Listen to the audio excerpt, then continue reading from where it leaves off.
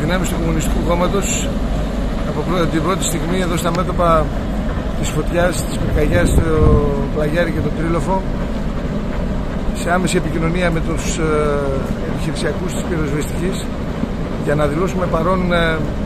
με δυνάμεις οι οποίες έχουν συγκροτηθεί και περιμένουν να αναλάβουν δράση στο πλευρό όσων μάχονται για την κατάσβεση. Από την πρώτη στιγμή φαίνεται από όλες τις πλευρές ότι υπάρχουν ζητήματα πρόληψης τα οποία πρέπει να αναδειχθούν το επόμενο διάστημα